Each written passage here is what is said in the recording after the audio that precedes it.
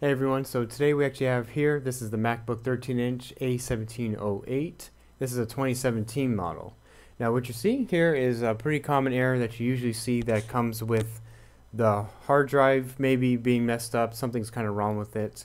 Um, it's not showing any operating system, so right when we turn on the machine we get this folder icon. So I do want to check out to kind of see what's going on with this one it was working for the client, but it now it's just it just doesn't work once once you turn it on. There's no updates or anything. It just one day all of a sudden just kind of did this. So we want to kind of see really what the problem is. So I'm going to actually boot to a bootable and I'm going to go into disk utility and see kind of what's going on there.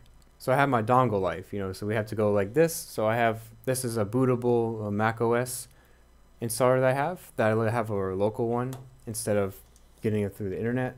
You can do it through the internet too. So you want to hold power and then you want to go to the option. Just hold option down the whole time and usually that can get you to choosing what type of disk. So you can see it says install macOS Catalina. So I want to go to that because that's going to get me to a disk utility.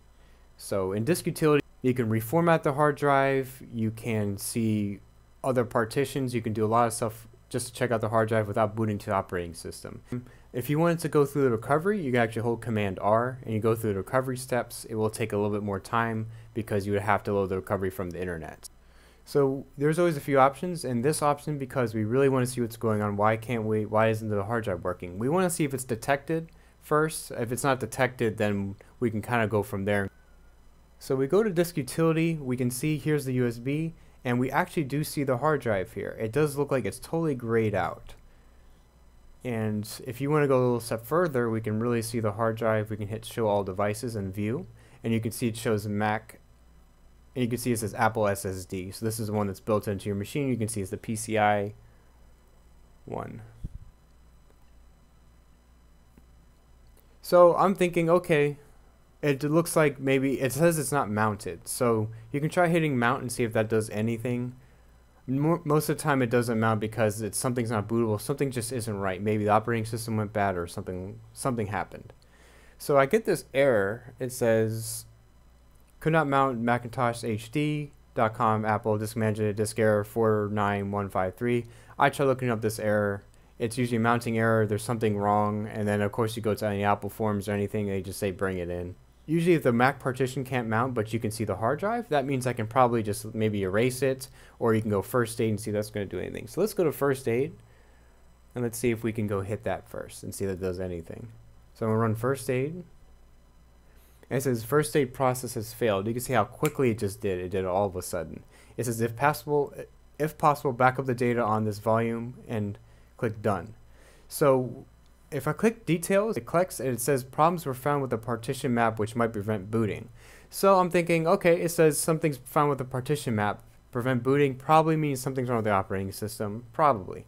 Because that's just a partition. It could mean the hard drive's bad, but we can kind of see from there. I'm going to actually go to the actual Apple SSD up here. And I'm going to click erase. So for this client, we were actually able to use recovery tools on this Mac SSD and able to get the data off. So we were able to recover data. So we were able to recover the client's data. However, we aren't able to write. It seems to be a read-only type of thing. So we were able to copy from her hard drive here to another hard drive and back that up. But for some reason, we're not able to install an operating system and we're not able to put anything on the hard drive. The machine sees it, but you aren't able to write anything to it. So I tried going through command prompt to try to change change the permissions for the read and write. That didn't work. Um, it doesn't seem to want to be, be able to be touched by anything. I keep getting the same error over and over again. How it won't mount, I can't first aid it. It won't let me touch it at all, even just to look at it. It won't let me do anything. However, the recovery tools I did use did work and I was able to pull the data, which is very strange. So let's try to do it now. Let's go to erase and see if that works. So we're just going to go Mac OS Extended. That's fine. You can do APFS. It shouldn't make a difference in this case. Because the, the standard is already Mac OS Extended. That's, that's how it came. So we're just going to do exactly how it came. So I'm going to hit Erase.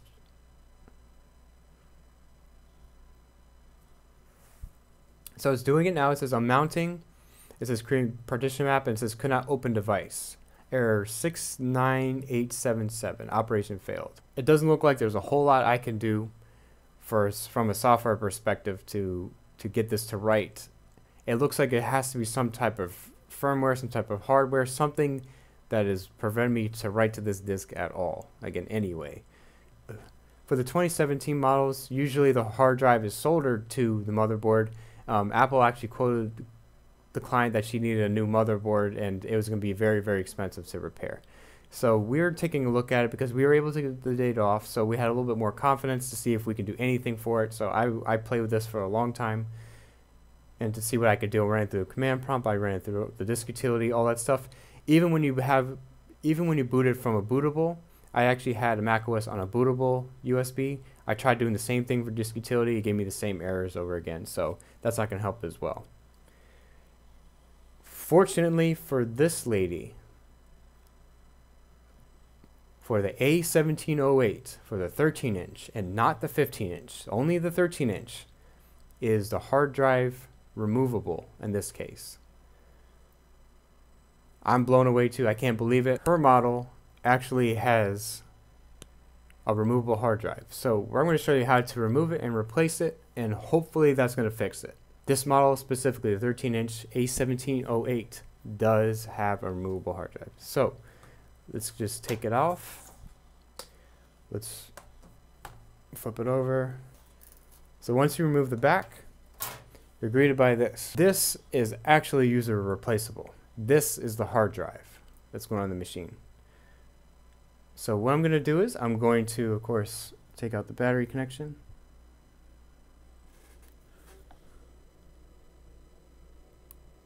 Right.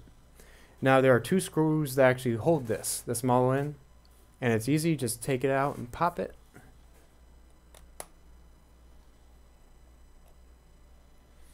There's one, and there's two.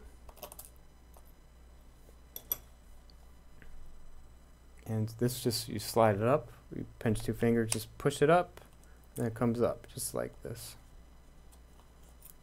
All right. This, this is your hard drive.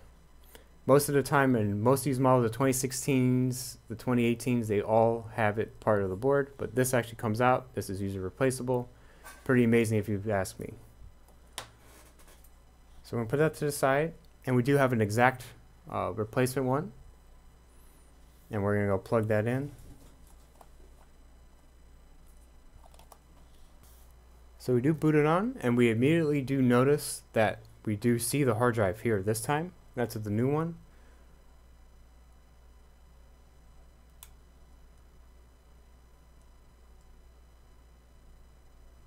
So it does actually recognize that. That means there is a operating system built into it. So let's just access it. So let's see. So we were able to boot right away. It didn't give me any problems. And that's just from this guy right here. So if you're fortunate enough to have an A1708 2017 13 inch MacBook Pro, you do have a removable solid state drive hard drive. Again, it is very unique to Mac, so you have to get the exact OEM replacement. But if you're having problems with that, with any type of hard drive, if you can't mount it, if you can't see anything, you can't write to it, um, you do have hope though, because we were able to recover the data on that hard drive, even though it wasn't writable and it wasn't booting. Um, try to take it to a place that can recover that and does have recoverable tools. We do a lot. If you check the video description down below, we actually do a lot of data recoveries, and we were able to recover this one very fortunately. Um, it is very difficult usually for especially these newer Macs because most of them are tied to the board. Most of the hard drives are tied to the board, but in this case, we are very, very fortunate that we were able to replace this one and make it working without totally replacing the whole board or replacing the computer as, as a whole. Now, even with these, I was worried about that we could maybe get kernel panics because it doesn't recognize the same type of hard drive or there could be something wrong with the board. That always is a possibility because it might not just be the hard drive, there could be something else on the board that's controlling that. There could be some sort of firmware or there could be another problem on the board. There could be a spill somewhere. It's really hard to say, but we are very fortunate that this method actually worked for us. So if you do have this type of problem, you do actually have some hope if you, if you have the A1708 13 inch edition of the 2017 model. Um, I'm not quite sure on the other models that they work like this, but if you do see this little guy in here, then you do have some hope and you can remove it and maybe you can even add storage. I don't know how high it does go. Um, I would recommend getting the same storage you had before because I'm not too sure how the controller works or anything, if it gets very sensitive or if they changed anything else up on it. But you can see it booted no problem. It restarted totally fine. It took us an operating system that was already installed. If you don't, you can go to disk utility again and wipe it. But anyways guys, thanks a lot for watching. I really hope you enjoyed this video about the A1708 13-inch MacBook Pro. So we were able to recover the data, but we weren't able to install an operating system on here. It does look like the hard drive went bad, but that's okay. We were able to replace it, and that's a very good thing, especially for these new models, and especially they're very nice, very expensive models. This one actually doesn't have the touch bar either, as you can see, so it does work for on those type of models. On touch bar models or any other model, I'm not too sure if it does have a removable one. I would say probably not, though. Most of them don't on these models. But we were very lucky, the client's very lucky, and everyone's pretty happy. So um, again, I hope you enjoyed. It. If you found this video very useful, please leave a comment below. Have you guys ever seen this error? Have you ever had problems just using the operating system? Have you ever had problems just mounting it and it wasn't booting to the operating system? Sometimes it can just be like an error on the operating system by itself. The worst case scenario would be a hardware issue, which would usually be a board, but we got the a very good beneficial one that it's only just a hard drive. So anyways, guys, if, uh, please subscribe for more content. We are going to be delivering a lot more very soon.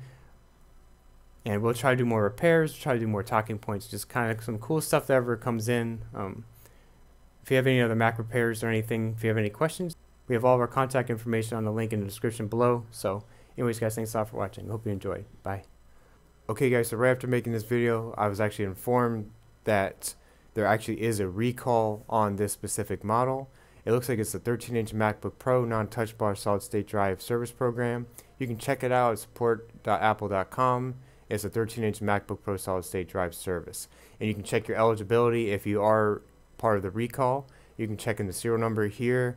It does say um, units that were sold between June 2017 and June 2018, and that have the 128 and 256 gigabyte solid-state drive models. Now, we did check the el eligibility for our client. She told us actually they denied her eligibility for this service in particular. Uh, we don't know why. We don't know if she was excluded, if she didn't buy it between them, but she does have the 2017 13 inch and she does have a 256. I don't know why they denied her. I'm not sure, but so go check out and see if you're eligible too.